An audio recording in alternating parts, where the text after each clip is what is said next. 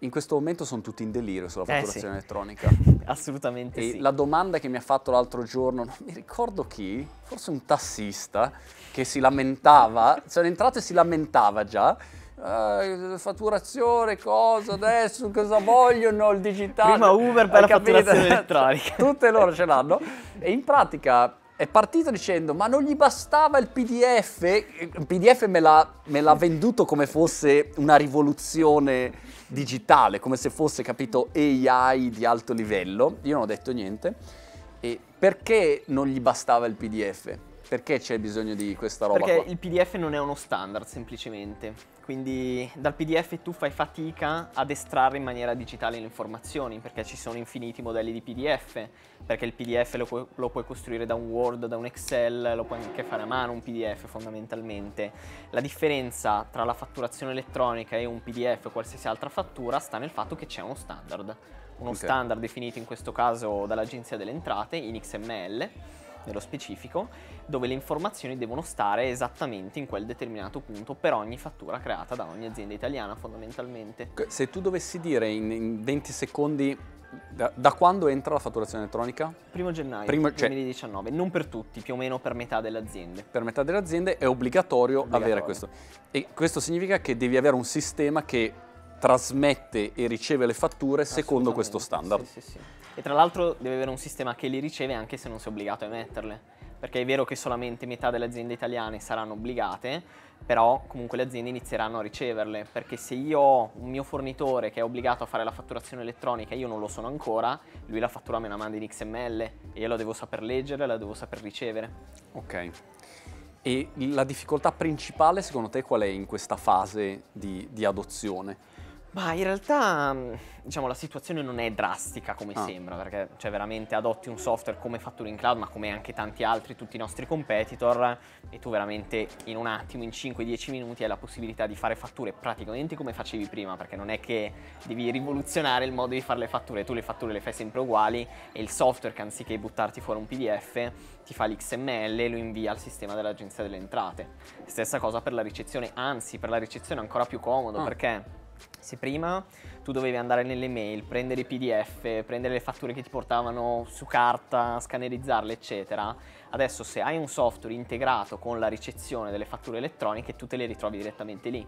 E siccome c'è uno standard, il software te le sa aprire, ti sa prendere tutti i dati con precisione al 100% e te li contabilizza in automatico. Ma e come funziona operativamente? Ti faccio le domande stupide che però fanno tutte le aziende ed è secondo me torna utile. Come funziona se uno dice ok ho fatto questo lavoro, adesso mando la fattura, fino ad oggi tu pigli, alleghi via mail Esatto. o mandi con la busta cartacea, non so, Esatto. magari c'è qualcuno ancora lo manda così. Ah, sicuro, un Stop. sacco. Invece in questo nuovo modello come funziona? Devo mandare la fattura, cosa faccio? tu fai la fattura, come sempre Nel mio fatto, sistemino. e premi un bottone. Sì. Fine. Perché premendo quel bottone la fattura viene impacchettata nell'XML, viene firmata, viene inviata al sistema dell'Agenzia delle Entrate e poi è quel sistema che si chiama sistema di interscambio che le indirizza direttamente al tuo cliente. Ah, per e quindi il tuo cliente la riceve sul gestionale, quindi non devi neanche più mandargli la mail. Se poi vuoi, puoi comunque anche mandargli la copia PDF che a questo punto non ha più valore legale, Ah, è ok. diciamo una sola copia che accompagna la fattura, gliela mandi comunque via mail come sempre fatto se vuoi. però è chiaro per che attendere cortesia. questa cosa per cortesia, però attendere questa cosa non avrà più senso, perché attendere tutti avranno chiaramente dei software per gestire questa cosa e quindi dalle mail spariranno le fatture. Cosa buona e giusta, cioè voglio Sì, sì, dire, che- che se tutte le è aziende disastro. ringrazieranno tra qualche anno perché sarà molto più facile gestire tutto. In questo modo tu triangoli come se nel tuo sistema mettessi la, la mail, tra virgolette, del Esatto. tuo destinatario Esatto, non c'è la mail ma c'è il codice SD. Certo. Che è diciamo questo codice che eh, è univoco a livello di software di ricezione, quindi noi per esempio abbiamo un codice che è uguale poi per tutto il gruppo Team System, tutte le fatture che i fornitori mandano ai nostri clienti avranno indicato quel codice SD, "Mm, che sono questi sette caratteri alfanumerici fondamentalmente. E nel momento in cui il nostro fornitore manda la fattura al sistema di interscambio, il sistema di interscambio apre l'XML e vede che c'è un certo codice SD. La manda al software, al gestionale, e il gestionale legge la partita IVA e la manda sull'azienda giusta. Quanto secondo te le aziende sono pronte oggi in Italia? È una bella domanda. Allora, Mm. noi vediamo che ci sono una marea di registrazioni su fatture in cloud, quindi diciamo che questa cosa chiaramente sentite, le aziende si stanno preparando. Ora, sicuramente non sono tutte ancora pronte. La cosa buona è che chiaramente quando l'azienda non è pronta, chi si appoggia al commercialista. E noi stiamo lavorando, per esempio, tantissimo sui commercialisti in modo da agevolare il più possibile nel rendere appunto pronte per il primo gennaio tutte le loro aziende. Ah, Perché chiaramente il commercialista è un po' il punto di riferimento. e il commercialista è contento da- di questa gestione mm, più snella Beh, o- oppure no? Allora, quelli che capiscono, chiaramente sì, perché Perché dire, uno per si loro... può sentire minato no, nella sua Esatto, esatto, professionalità bravo. o diciamo che ci attività. sono due categorie di Ah. commercialisti, no? Ci sono i commercialisti, quelli chiaramente un po' più smart, che capiscono e dicono è una figata, perché giustamente c'è il software che fa tutto il data entry, data entry attivo e passivo. Io come commercialista mi integro al software, mi registro, peraltro nel nostro caso è anche gratuito, e ho la possibilità poi di avere tutto in ordine, non devo cercare il mio cliente per chiedergli la fattura mancante, per eh, chiedergli l'acquisto mancante, per dirgli che non mi tornano più i conti sulla banca, che non riesco a riconciliare perché è tutto automatico. Chiaramente questi commercialisti sono quelli che hanno capito che da qui in poi, quindi tra dieci anni, esisterà solamente un lavoro consulenziale da parte loro Certo. un lavoro di consulenza fiscale, di consulenza sotto n punti di vista, che sarà poi il vero lavoro del commercialista. Tutto quello che è il data entry non è che sta andando a morire, è già morto. Cioè, il primo Chiaro. gennaio è già morto tutto il data entry.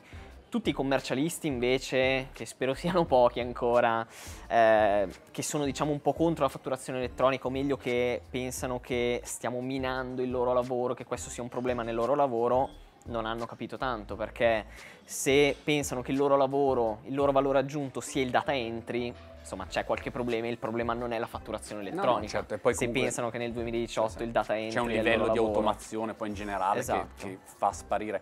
E Per a- A forza. quel punto mi fa venire in mente il dubbio sulle aziende straniere. Cioè, rispetto a un'azienda straniera che invece non ha questo sistema e Tu che le se- metti comunque la fattura elettronica. Ah. Devi mettere 7 volte X in questo codice, codice SD che ti ho detto prima. Chiaramente tu gli mandi anche il PDF perché se fai una fattura che Però so, se, in se- America... se- però se compri da un'azienda straniera, l'azienda straniera No, non è certo. integrata in questo sistema e ti manda il PDF. Corretto, in quel caso, in quel caso per adesso non, diciamo, non c'è ancora un flusso definitivo, Ah. probabilmente si dovrà fare un'autofattura elettronica, però non c'è chiaramente problema, l'azienda estera non è obbligata a farti una Ah. fattura elettronica. Se no, tutti nel sistema italiano, tutti a, a inserire No, no, no, nell'agenzia delle certo. entrate le proprie fatture. Ok, ok. Per cui insomma ci sarà sempre un periodo di adattamento per sì, capire. assolutamente, ma comunque già adesso dal primo gennaio non ci saranno sanzioni, Ah. sono, state, sono stati esclusi i regimi forfettari, quindi tutte quelle piccole partite IVA Non fino a sono 65.000 euro non sono ancora obbligate, e comunque anche per tutti quelli che sono obbligati non ci sono Hai detto sanzioni. fino a 65.000 Fino a euro? 65.000 euro. Quindi hanno alla- al- alzato il tetto? Hanno alzato il tetto, sì. Ah, wow. E loro almeno fino al primo gennaio 2020 non sono obbligati. Quindi comunque diciamo è un'entrata graduale, non è che il primo gennaio crolla il mondo. C'è- Esatto. È, è incredibile come quando c'è un cambiamento c'è sempre poi gente molto preoccupata. Eh, sì. o- Io ho visto anche Beh, normale. No. normale. alcuni video anche su questo tema che, che abbiamo fatto insieme. Nei commenti è incredibile vedere come c'è gente che dice bastardi, come il tassista, è la sindrome del tassista. Beh, dicono a noi bastardi come se l'avessero fatto. Sì, cioè, che dici, ma eh, voglio dire, è un, eh, un'evoluzione. Certo, certo. Infatti ci siamo presi un po' di insulti. che, che fatico. Voi la fattura Non elettronica. capisco poi, diciamo, qual è il motivo, perché alla fine dei conti, se ti snellisce il flusso, è solo del lavoro in meno che devi fare. Chiaramente se tu Sì, loro, loro guardano il punto di vista negativo, devi Ah. pagare quei 50 euro in più all'anno di gestionale. Ho capito, ma il costo che hai di, capito, di persone che devono metter- mettersi lì a, Eh, certo, a smazzarsi l'operatività rispetto alla fatturazione, Certo, certo. eh, lo riprendi ampiamente. Però io no? sono confident del fatto che appena tutti entrano in quest'ottica e appena tutti iniziano bene a utilizzare i gestionali, capiscono che è un bel vantaggio. Mm. Cioè una volta che vedono che non devono più andare a cercare le fatture nelle mail, che ce le hanno tutte belle lì in ordine nel gestionale, sia quelle emesse che quelle ricevute. E invece tu ti cambiano un po' rimborsi le... Beh, quelli le- non sono toccati. Niente, quindi No, no, no. si- ci si presenta sempre con la bustina a fine mese la, la si sbatte lì. Aspetta, stiamo lavorando anche a quello, Esatto. però con dipendenti in cloud. Ah, perché la cosa divertente Ah. è che ho fatto fatture in cloud perché io personalmente avevo il problema delle fatture perché avevo l'azienda di videogiochi. Stavo facendo tante fatture, stavo ricevendo tante fatture, avevo il problema della fatturazione, quindi Sì. ho fatto fatture in cloud. Poi, facendo fatture in cloud come azienda e assumendo dipendenti, insomma adesso siamo diventati una ventina, quindi abbiamo il problema di gestire le ferie, rimborsi Chiaro. spese, eccetera. E allora ho lanciato dipendenti in cloud. tu parti sempre, a me piace molto, è un Da un approccio che, problema. che condivido in pieno, parti da un problema. E spesso Esatto. se è un problema che hai tu, dici ok, eh, io prima ho lanciato 4Books, era un problema che avevo io di dire ma come faccio a velocizzare la lettura? Eh, non trovavo mai un sistema che, che mi piacesse di abstract, di libri, cose così.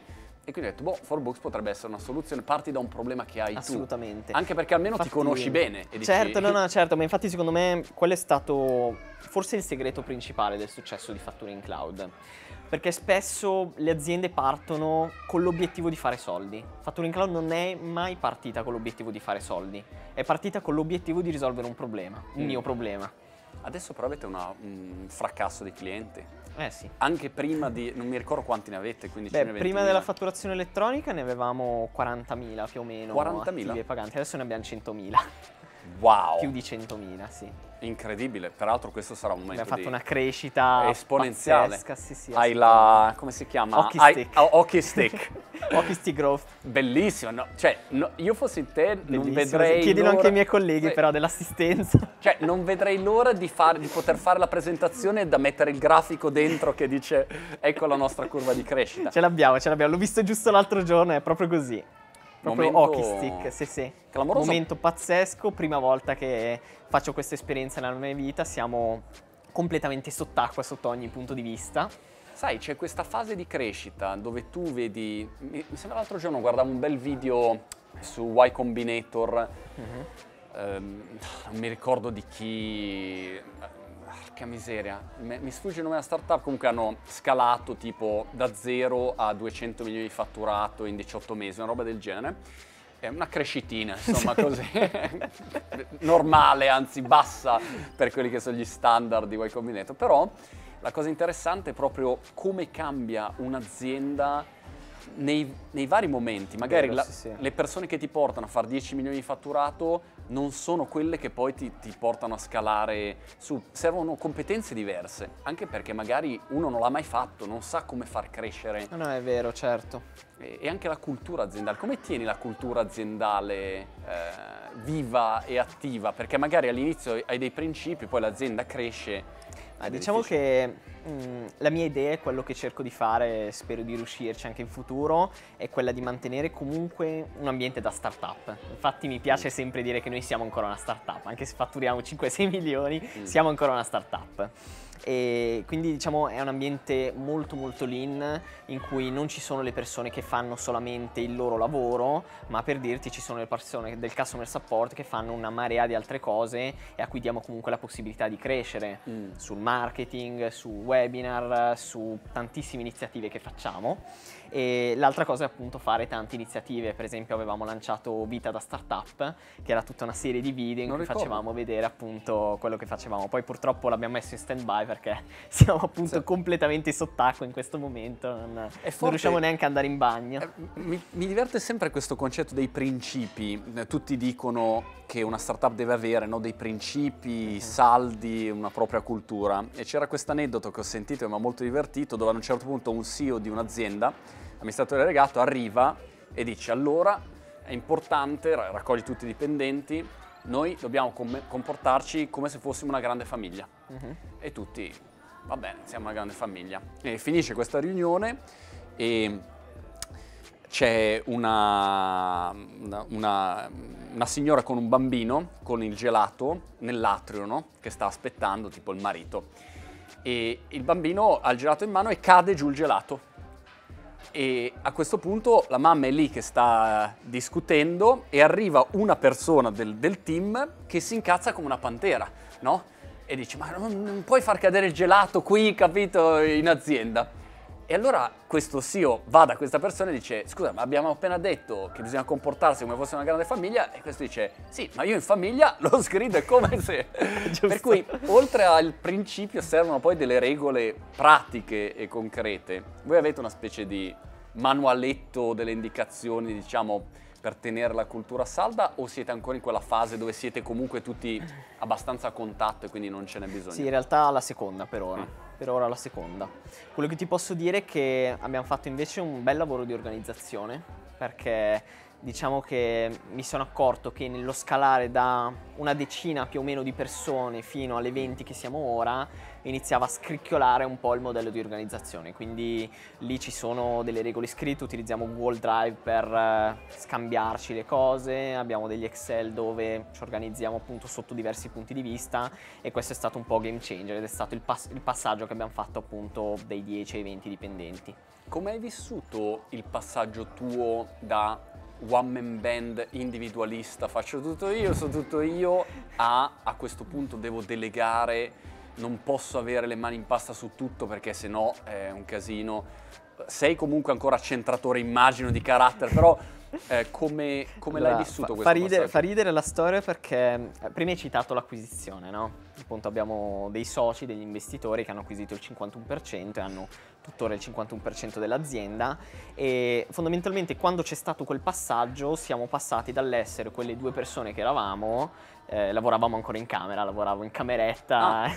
e anche, anche il mio collega Matteo, all'essere 3, 4, 5 persone subito, diciamo, dal, dal day one, dal day two, da, da dopo l'investimento, mm. insomma, da dopo l'acquisizione, perché in realtà non c'è nemmeno stato un investimento monetario. E mm, diciamo che in quel momento che, insomma, ero un po' stanchino, eh, perché mi ero fatto un anno e mezzo, due anni full, gestivo io addirittura i ticket d'assistenza oh. e, e quindi nella mia testa c'era chiaramente l'idea di delegare, ovviamente, perché l'azienda stava crescendo, per forza devo delegare. E allora io pensavo al tempo, vabbè dai, bene, delego così, insomma, io riesco a occuparmi un pochettino di più di fare l'amministratore delegato e insomma mi tranquillizza anche un po' perché sennò divento matto sì. a gestire lo sviluppo, il marketing, l'assistenza clienti e quant'altro, no?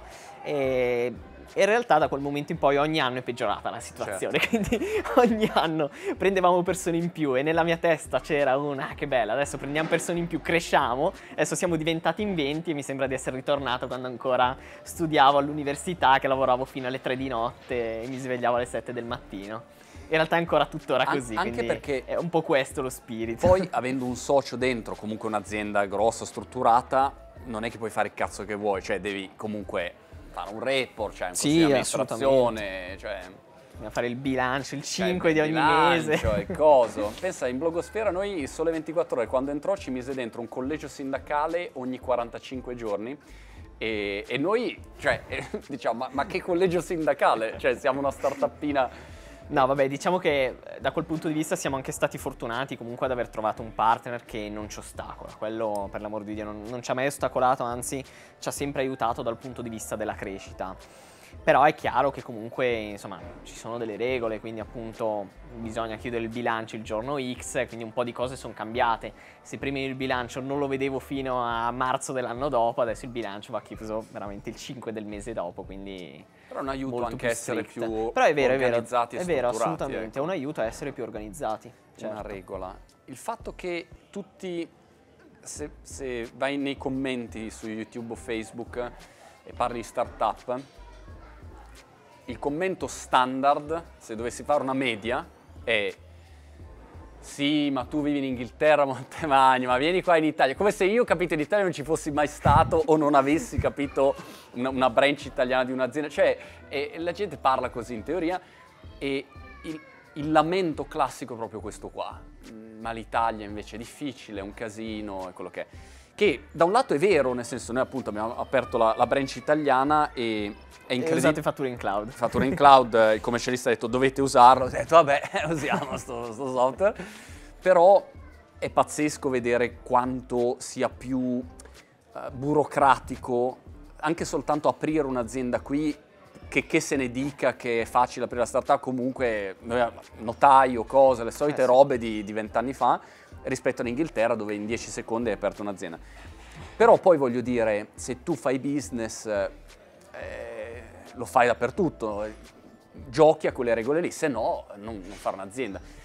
Però di fatto tu vedi oggi un sacco di aziende italiane, startup italiane che funzionano nonostante le regole che ci siano, sì, uno lo fa alla fine. Assolutamente. Allora diciamo che da una parte sono d'accordo e dall'altra parte ah. no. Allora, è vero che c'è un sacco di burocrazia. Infatti, secondo me il problema della burocrazia è il principale problema in Italia, prima ancora delle tasse, anche perché poi voglio dire, diciamocela, finché l'azienda non diventa grossa e fa utili, delle tasse te ne frega poco. No, non è, è, un non problema, tanto è un non, non problema, esatto. Noi abbiamo chiuso i primi tre bilanci a zero, praticamente perché investivamo tutti di tasse, certo. ne abbiamo pagate praticamente zero, certo. giustamente, non facevamo utile, quindi quello è un non problema. La burocrazia è, insomma, rompe le scatole, questo è vero, rompe le scatole perché chiaramente se tu mi dici in Inghilterra, in Irlanda, l'azienda l'apre online, tre secondi ce l'hai, non hai problemi, in Italia è vero che c'è qualche costo in più e, e qualche rottura di scatole in più. Dall'altra parte però questa cosa comunque non è bloccante se tu hai in mente un business che funziona, cioè quindi at the end of the day, se comunque tu stai facendo un business che funziona, poco cambia se lo fai in Italia, in Irlanda, in Inghilterra. Certo. Se hai lanciato una cosa che non funziona, non funziona né in Inghilterra, ma non funziona nemmeno in Italia. Anzi, il paradosso è che hai una barriera d'ingresso rispetto a tutti quelli che dicono no, però puoi lanciare un casino e quindi togli già una parte di concorrenza di gente che non ci prova neanche e l'altro vantaggio che hai è che l'Italia come mercato è molto più facile rispetto a un mercato magari super competitivo? Beh, Sai... da questo punto di vista sì, noi comunque siamo stati molto avvantaggiati da questa cosa perché chiaramente non avevamo tanti competitor affiatati, i competitor esteri peraltro, e qui siamo stati, siamo stati avvantaggiati dalla burocrazia, quindi se prima no, detto che è scomoda, cioè è una barriera d'ingresso da considerare. È una barriera d'ingresso, certo, i competitor esteri non hanno mai pensato, nemmeno tuttora con la fatturazione elettronica, Xero, QuickBooks, eccetera, non sono in Italia non gli interessa essere in Italia. Però nel momento in cui crescete, insomma, ricordati, ricordati dello zio Monti, insomma, quando, quando, ti arriva la telefonata che dice da, da Xero facciamo due chiacchiere Daniele, ci interessa la vostra realtà. Perché comunque, insomma, è un settore, io penso, il problema spesso è riuscire a creare in un paese come l'Italia una, una startup che eh, mette chiarezza e organizzazione in un settore complicato, come può essere ad esempio la fatturazione, e una volta che tutti i tasselli sono a posto, per un player molto più grosso internazionale... È molto difficile. Capito? Ci puoi mettere tutti i soldi che vuoi, però... E quindi diventa molto più facile chiamarti e dire cerchiamo Vabbè, certo. di, di, acquisirvi perché eh, eh, avete già risolto il problema e noi dobbiamo semplicemente Corretto, eh, sì, girarvi sì. del grano e entrare sul mercato, non è molto più... Per cui tutto lo sforzo che fai all'inizio in realtà poi lo riprendi come eh, prodotto finale che vai a costruire. Assolutamente. Quali sono prospettive future da qua ai prossimi 12 mesi? Eh, resistere eh, allora, all'onda della... Resistere, non morire, diciamo. Non morire. no, diciamo, la sfida principale che stiamo affrontando adesso è proprio veramente quella di scalare. Cioè abbiamo okay. il problema inverso proprio della, sì. diciamo, della, della, classica azienda italiana, quindi quello proprio di riuscire a scalare, riuscire a assumere abbastanza in fretta le persone e insomma far fronte proprio a, a questo trend pazzesco di, di esplosione.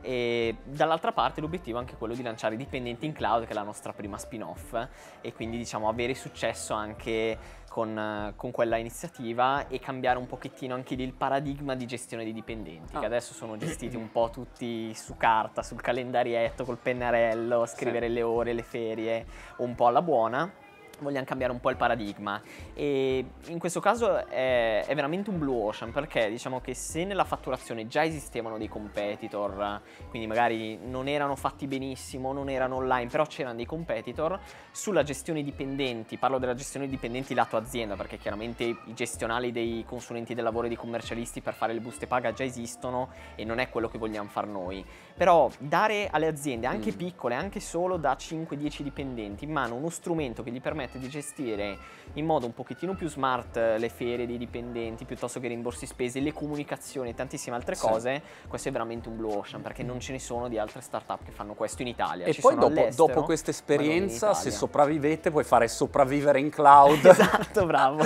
che secondo me avrebbe grande successo. sulla parte dei, dei dipendenti e dei collaboratori come ti muovi?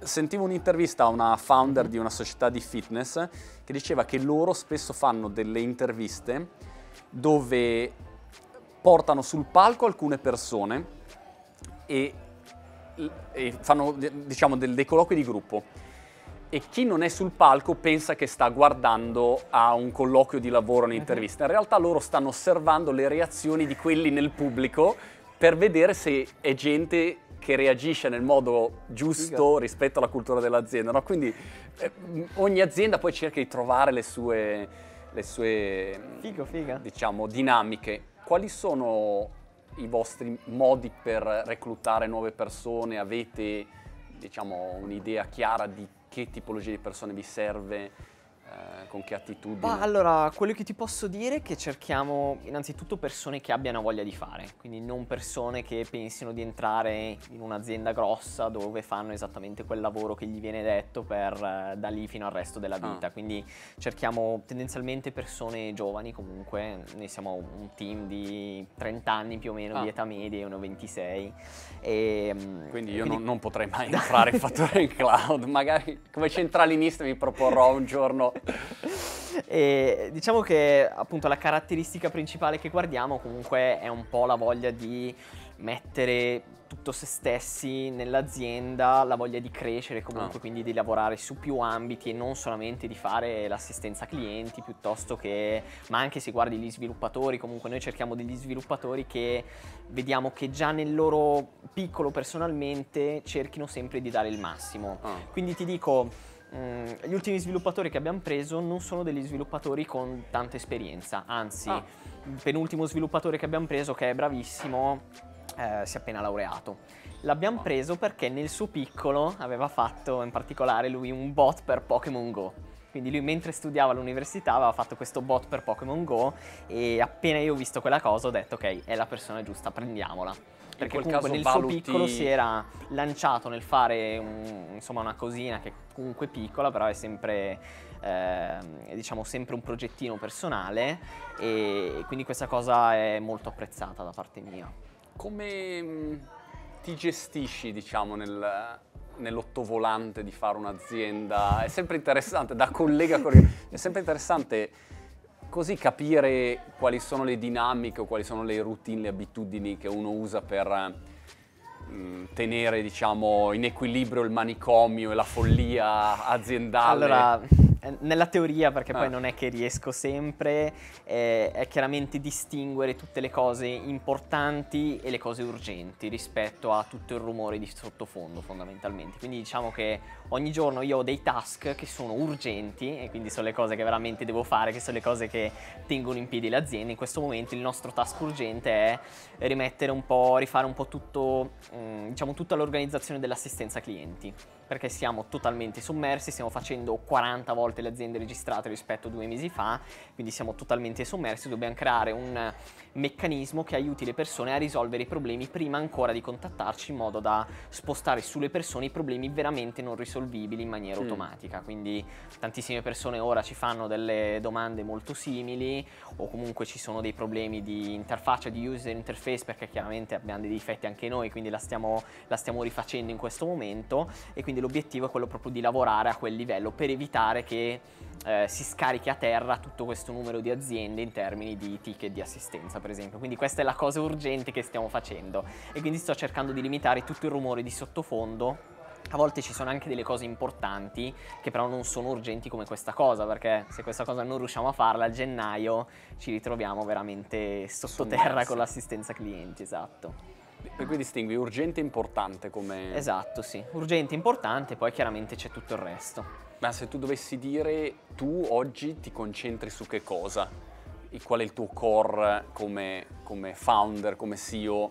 Eh, entri in azienda e dici, ok, allora, le mie priorità sono... Beh, prima, prima, di tutto far funzionare tutto. Mm. Quindi in questo caso abbiamo questa criticità dovuta allo scaling e quindi insomma devo capire come far funzionare tutto.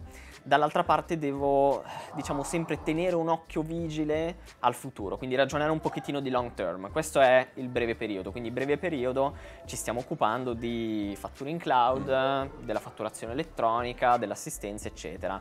Dall'altra parte ho appunto un occhio attento sul lungo periodo, quindi dove vogliamo arrivare da qui a 5 anni.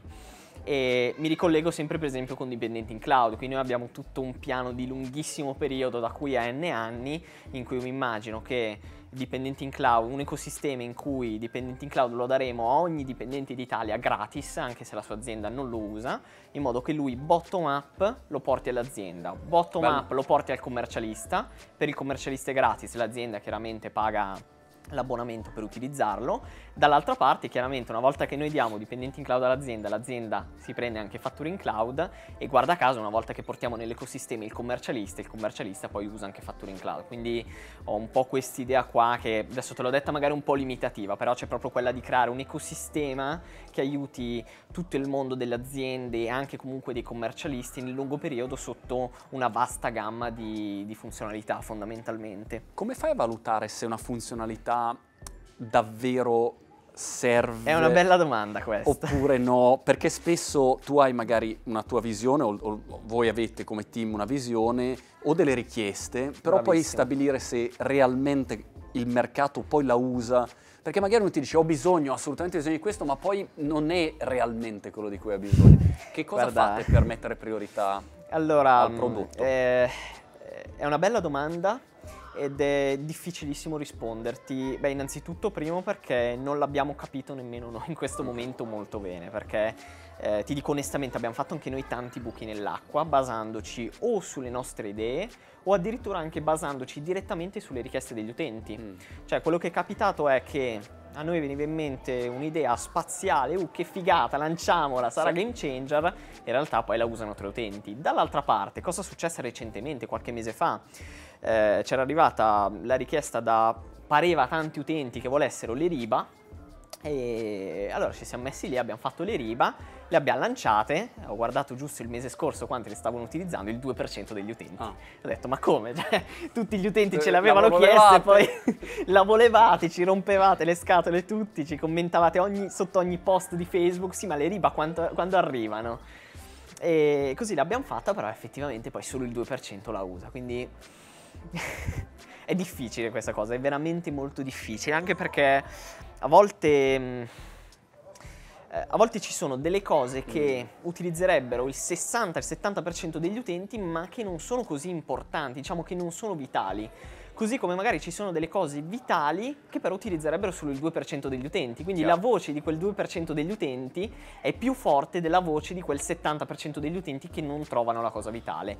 E qui è un po' un trade-off, no? È chiaro che la direzione in cui possiamo andare come gestionale è quella di riuscire ad accontentare il numero maggiore di utenti, anche perché non possiamo fare un un gestionale che funzioni solamente per una nicchia di utenti, infatti non è un gestionale verticale fatture in cloud, è un gestionale molto orizzontale, deve coprire diciamo, di esatto, l'80% delle, mm, delle, esigenze medie delle persone fondamentalmente e quindi è una bella domanda perché è difficile capire effettivamente ogni funzionalità quale caratteristica ha. Come promozione avete qualche strategia particolare? Oggi diciamo siete dentro oh, in questo rullo virtuoso per cui avete probabilmente poca necessità anche di promuovervi, nel senso che... Beh, in realtà siamo... O, o state ugualmente La nostra spingendo? idea è quella di fare tutto.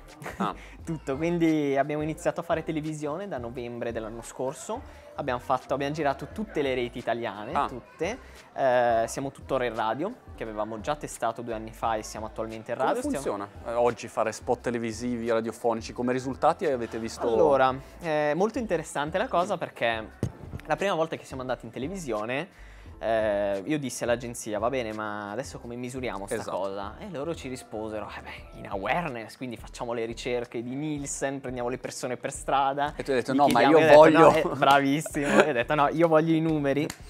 Allora mi misi a fare un sistemino con cui vedevo i picchi di traffico che arrivavano dalla televisione. Come funzionava? C'era un pixel di tracciamento, come quelli di Facebook e Google che si mettono nei siti web. Questo pixel di tracciamento inseriva una riga nel nostro DB ogni volta che una persona nuova, quindi visitava per la prima volta la landing page, il nostro sito www.factoringcloud.it.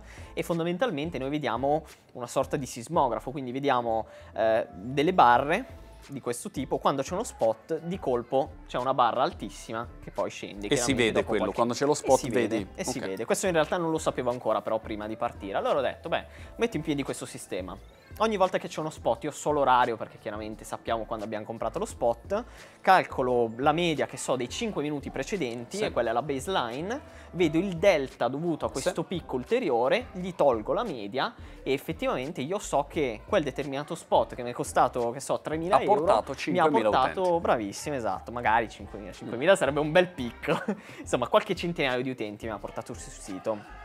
Questo cosa cosa mi permette di fare? Questo mi permette di ottimizzare gli spot, perché chiaramente se io so che pago uno spot 1000 euro mi fa fare 100 e poi ne pago un altro 3000 e mi fa fare 10, chiaramente quello pagato 1000 è meglio e quindi questo mi permette di fare i b testing tra fasce orarie, programmi e anche canali e emittenti mm. fondamentalmente. Questa era la prima idea. Oh. Però c'era un problema, cioè sì. va bene questo, io ottimizzo gli spot, so quali spot funzionano e quali no, ma come faccio a capire quanti soldoni mi portano sì. gli spot?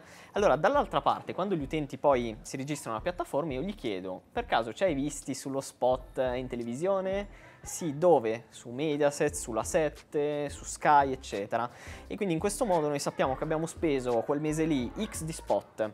Li abbiamo ottimizzati perché li possiamo ottimizzare immediatamente secondo questi picchi di traffico e sappiamo anche che questi X spot hanno portato Y utenti registrati sul campione e riapplicando quel campione a tutta la popolazione degli utenti registrati in Factoring Cloud sappiamo stimare più o meno quanto ci è costato un utente registrato. Ecco, quando ho raccontato questa cosa all- sì. alla- all'agenzia mi hanno detto tu sei matto. Chiaro. Mi hanno detto non si può fare assolutamente una cosa del genere, sei pazzo, non ti uscirebbe nulla. E, e abbiamo licenziato l'agenzia. Infatti stavo dicendo, invece mi sembra perfetto. Ha funzionato questa ah. cosa e abbiamo lasciato a casa l'agenzia perché poi vabbè ci siamo trovati male per altri motivi, però fondamentalmente questa cosa ha funzionato e ci ha permesso di ottimizzare di un fattore 10 mm. gli spot. Quindi i primi spot che avevamo fatto a sentore perché secondo noi era meglio andare su un programma piuttosto ah. che un altro, effettivamente performavano 10 volte di meno degli spot fatti poi per, con i numeri. Perché poi hai calcolato in sostanza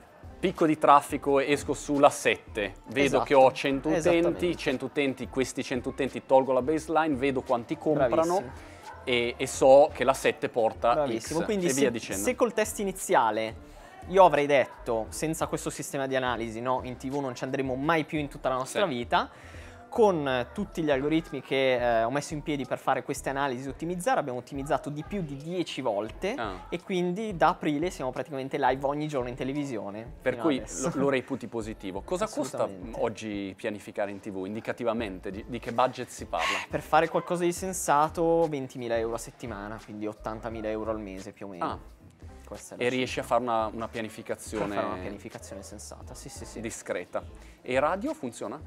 Allora, radio devo dire che è un pochettino più difficile da monitorare, perché non puoi vedere i picchi, perché chiaramente la radio tu quando l'ascolti in macchina. Mm quindi nessuno vuole che le persone facciano gli incidenti in macchina perché Chiaro. vanno sul sito di fatture in cloud esatto. e quindi fondamentalmente è chiaro che non hai la possibilità di vedere quei picchi che arrivano come la televisione sì. perché se il second screen vige quando diciamo fa, fa da padrone quando guardi la televisione quindi chiunque ha il telefono a meno di un metro di distanza quindi tu vedi la pubblicità ti interessa cosa fai? prendi lo smartphone fatturincloud.it e ci vai eh, con la radio è molto più difficile, quindi con la radio abbiamo solo la possibilità di basarci sulla survey di provenienza. Da e quindi diciamo ci manca un pezzettino, quindi è molto più difficile da ottimizzare. E la parte online dove, dove investite voi? Facebook, allora, online Instagram, investiamo... YouTube, esatto, search, esatto. cosa fate? Facebook, Tutto? Instagram, YouTube, Google, real time bidding, programmatic, insomma, di, di, tutto, di tutto. C'è qualcosa tutto. che emerge in questo momento? C'è un allora, posto... devo dire, che, devo dire che c'è un trend molto positivo dovuto alla fatturazione elettronica, soprattutto su Facebook, che avevo un po' dato per spacciata, ah. perché eh, il bello è che io sono partito con Facebook, sì. un posto peraltro dove nessuno dei miei competitor stava investendo, perché chiaramente se tu pensi al B2B pensi a LinkedIn, al massimo a Google, Chiaro. ma non pensi a Facebook. Io in realtà ero partito dall'altra parte, quindi dal- da Facebook, perché comunque se tu ci pensi, B2B sì, però comunque la, la- la persona che gestisce l'azienda è su Facebook e quindi io la prendo diciamo dal punto di vista personale e poi la porto sul mio software anche se è B2B. Io sono partito da Facebook convertendo a 2,50 euro per utente. E che erano numeri pazzeschi, facevamo centinaia di utenti al giorno a poche centinaia di euro. E a un certo punto però l'abbiamo saturato Facebook, cioè fino a qualche mese fa non riuscivamo più ad acquisire perché ormai oh, ci hanno visti tutti in tutte le salse, abbiamo anche fatto un sacco di video che Sì. diciamo è uno degli ambiti che stiamo portando avanti più pesantemente, quello di creare contenuti video rispetto alle classiche pubblicità mh, con l'immaginetta. E invece quello che è successo con la fatturazione elettronica è che diciamo questo canale che avevo un po' dato per spacciato ha ripreso a funzionare. Quindi stiamo convertendo ancora una marea adesso da Facebook e in generale comunque da tutti i canali proprio perché c'è l'hype della fatturazione elettronica. Secondo te durerà fino a fine gennaio, una cosa Eh, del beh, genere? Allora, O sicuramente adesso c'è un momento di hype, quindi stiamo crescendo anche in questa maniera da hockey stick perché c'è proprio l'hype. Allora io mi immagino che almeno fino a febbraio-marzo questo hype durerà in maniera pesante. Mm, Poi è chiaro che eh, si tornerà a regime con chiaramente uno scalino superiore rispetto alle persone che si interessavano Chiaro. prima. Mo- Mondo intelligenza artificiale, tutto questo mondo qua lo state integrando dentro al Allora, devo dire che abbiamo iniziato molto tempo fa a integrarlo da una mia idea che era, si chiamava Genius, si chiama Genius tuttora. Fondamentalmente un algoritmo che prende in pasto il PDF o la scansione della fattura e analizza i dati. Allora, è ovvio che tutto questo adesso inizia ad avere un pochettino meno senso perché chiaramente con la fattura elettronica a tendere i dati saranno già digitalizzati, quindi non c'è bisogno di estrarre dati da un Sì. PDF. Dall'altra parte... Però l'analisi resta valida. Esatto, dall'altra parte mi attira comunque sempre molto il, il mondo dell'intelligenza artificiale e mm, lo applicheremo su dipendenti in cloud per la lettura delle buste paga. Quindi tu carichi le buste paga dei dipendenti, io estraggo i dati e te li diciamo digitalizzo e ti permetto di fare delle analisi su, mm, che so, Mm. sul cuno fiscale, sugli stipendi dei dipendenti, sulle ferie, su un sacco di altre cose molto interessanti. Dall'altra parte su fatture in cloud ci potrebbe essere utile, eh, è un'idea proprio Ah. che, che ho da un po' di tempo, però chiaramente dovremmo avere poi tempo per svilupparla, una cosa che arriverà nei prossimi anni, Ehm, diciamo aiutare dal punto di vista della business intelligence Certo. anche con l'intelligenza artificiale le aziende, quindi vedendo i trend passati, vedendo eh, tutto lo storico fino a quel momento, fare delle stime per... eh, diciamo i mesi successivi, quindi stime dei pagamenti, quanti Mm. soldi avrai in cassa tra Sì. tre mesi sapendo che tutti i clienti che hai ti pagano in tempi diversi, alcuni ti pagano in ritardo, alcuni ti pagano in anticipo, pochi probabilmente, eccetera. Quindi fare dei sistemi del genere con un pochettino di machine learning, niente di super spaziale, NASA, eccetera. Però insomma degli algoritmi del genere potrebbero essere molto carini. Appena lo fai, se mi metti un comandino vocale dove io posso, sono lì e dico risparmiamo e lui dice "Dove questo devi fare, Eh, guadagniamo di più, così, Esatto. questo sarebbe utilissimo. Grande Daniele, bocca al lupo per tutto.